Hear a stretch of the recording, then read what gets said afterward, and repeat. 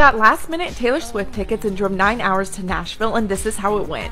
Aaron and I live in two different cities, so we met up in Charlotte to drive together the rest of the way. We took way too long and got to Nashville kind of late, but the next day we toured Nashville and got ourselves plenty of time to get bejeweled. We became by dancing to Taylor Swift and made our way downtown to listen to more Taylor Swift. There was no traffic because we were late, which obviously didn't faze us because we took our sweet time getting there. By the time we got our wristbands, we saw the countdown clock and sprinted to our seats. We got there just in time to see the queen herself absolutely killing it for three and a half hours. The night was perfect already, but the cherry on top was definitely the street hot dogs.